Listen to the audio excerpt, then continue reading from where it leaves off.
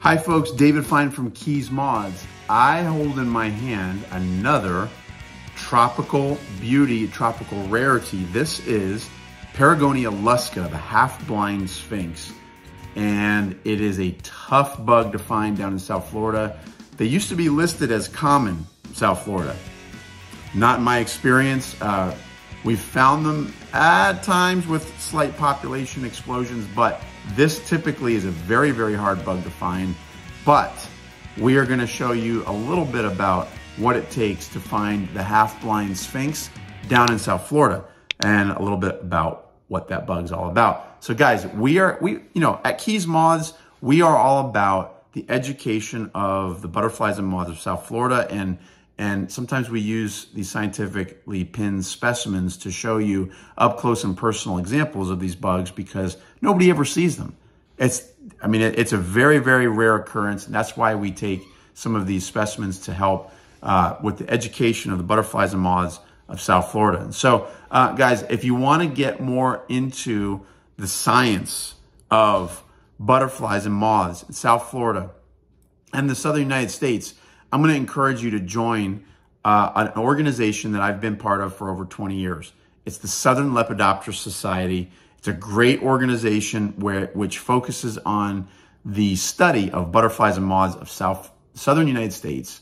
And there's a couple hundred people. You know, I'm encouraging you to join the society. It's, you know, 30, 35 bucks a year or whatever it is. You can join on the link that's linked in my description. I've got their website linked there and you can um, sign up to be part of the Southern Lepsoc. And um, guys, let's get to the half-blind Sphinx and I'll show you everything I know about this little tropical beauty. Okay, folks, I have right here a pair of the half-blind Sphinx, Perigonia lusca, and it is a probably a smaller size Sphinx moth and it's, you know, it's got this, this yellow band on the hind wing, but other than that, it's a pretty drab moth. But when they are fresh, you can see it in this female a little bit. You can see some iridescent purple going on in the forewings. And, you know, the, the female, look how much bigger the abdomen is on the female than the male. I mean, she's loaded with eggs, right? Um, very similar in size to the Sagra Sphinx. They feed on the same host plant. They feed actually feed on rough velvet seed um, and same host plant and their caterpillars look very similar. In fact, the caterpillars are almost impossible to tell apart. So they're, they're pre, these species right here are very closely related, but the half-blind sphinx is the species that we are going to focus on right now. Um, wingspan is about an inch and a half to two inches, I'd say. And uh, the male's wings are a little bit more elongated, a little bit more angled. And of course, the abdomen is uh, a lot smaller on the male. Uh, we have another similar species. This is called the mournful sphinx, obviously lacking that yellow, orangish yellow band on the hind wing. Uh, but this is another bug that is similar in size and color that you may confuse if you see it resting on a wall somewhere. You'd have to take a close look to tell these critters apart. Now, um, half-blind sphinx, let's go to our website I'll show you what we know about Perigonia lusca. All right, Perigonia lusca, guys, uh, half-blind sphinx.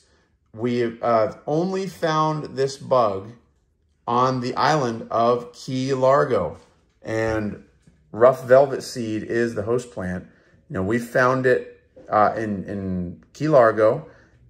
And the last time I was in Costa Rica, I found several of them. So I know that they live there.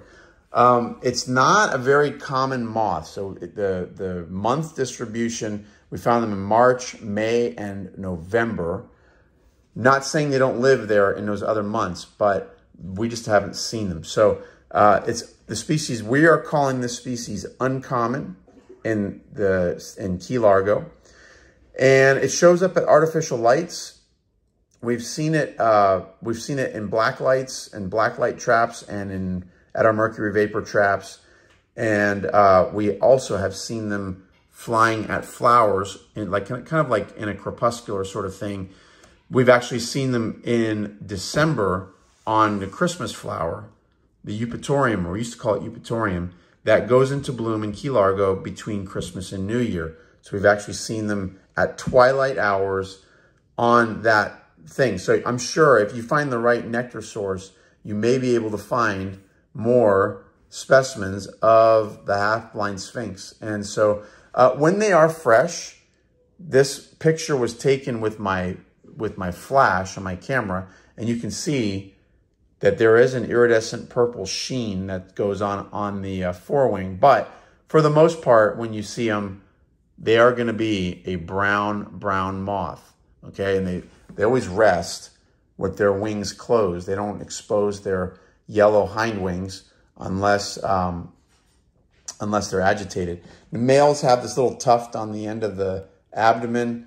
I believe that's a sex tuft.